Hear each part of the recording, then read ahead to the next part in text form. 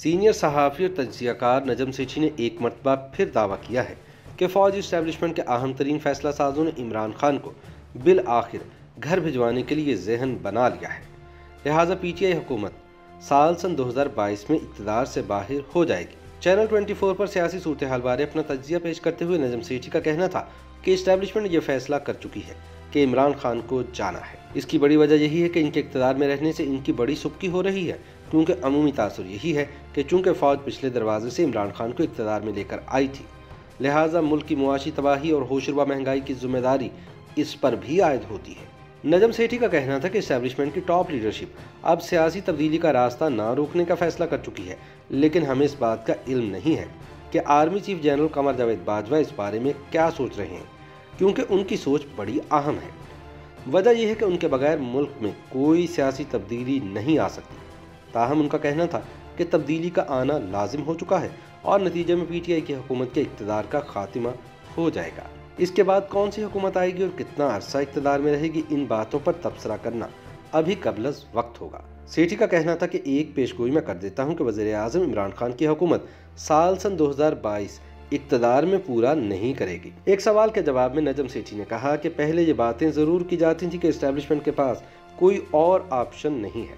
इसलिए इमरान खान टिके हुए हैं। हालाँकि इनकी कारकर्दगी से कोई भी मुतमिन नहीं है। लेकिन अब फौजी इस्टेब्लिशमेंट ने ऑप्शन ओपन कर दी हैं। नजम सेठी का कहना था कि सितंबर सन 2021 में वजी अजम इमरान खान ने नए D G I S I की तकरीरी पर फौजी क्यादत के साथ जो पंगा डाला था, उसके नतीजे में अब हाइब्रिड निज़ाम हुकूमत में दरारें पड़ चुकी हैं। और फौज इस्टेब्लिशमेंट इमरान खान का बोझ अपने कंधों पर उठाए रखने के लिए तैयार नज़र नहीं आती। नजम सेठी का कहना था कि गेंद अब इस्टेब्लिशमेंट की कोर्ट में है। अगर फौजी इस्टेब्लिशमेंट एक बार फिर इमरान खान को अपना कंधा फराहम कर देती है, जबकि इनके खिलाफ अवामी जज्बात अपने अरूज पर है तो यह खुद शदीद तनकीद की जद में आ जाएगी। ऐसा करने से फौजी इस्टेब्लिशमेंट की अपनी सफ़ों में बेचैनी की लहर दौड़ जाएगी। लेकिन अगर ऐसा नहीं होता तो इमरान खान की हुकूमत मफलूज हो जाएगी। इसे चलता करने के इम्कान वाजे होने लगेंगे। ऐसे मंजरनामे में इमरान खान की तरफ़ से भी रद्द आ सकता है। वो इस्टेब्लिशमेंट की मौजूदा क्यादत की जगह किसी ऐसे शख्स को लाने की कोशिश कर सकते हैं, जो इन्हें सहारा दिए रखे। लेकिन इस पेशरफ के खिलाफ गैर मुतव इदारा जाती रद्दमल आ सकता है और इसके शदीद नतज निकल सकते हैं। लिहाजा एन मुमकिन है कि नविस्ता दीवार पढ़ते हुए कप्तान खुद ही घर चले जाने का फैसला कर लें।